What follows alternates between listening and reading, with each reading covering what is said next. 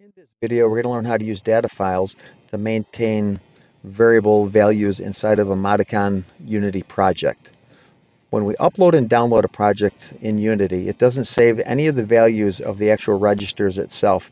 It only saves the initial value column, which is used for initial download or cold start on the project. And in this case, we just downloaded to the project, so you can see the value once here and this has nothing in it. So it does zero matches to the animation table where everything is a one except for a zero. So in this project I'm going to make them different from the initial value.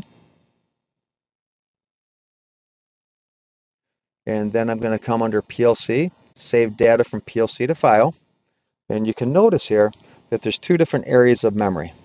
There's located data which I can filter based on percent %m and MWs in a certain range.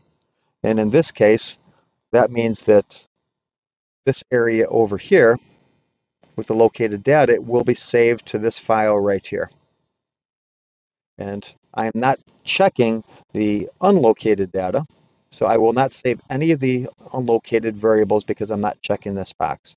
So all the variables over here, which is the unlocated data, will not be saved inside of this file. So I'm going to go ahead and save this file name and all the variables inside here that are being saved are two.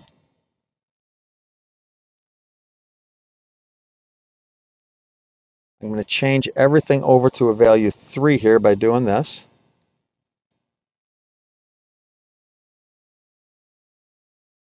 And now when I go to restore it, choose my file,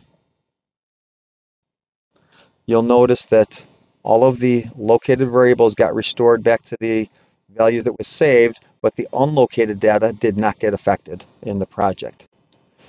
So right now it's an education. We have to transfer to and from the project for the actual project files, and there's a separate uh, save data from PLC to file for the data and to the PLC to restore.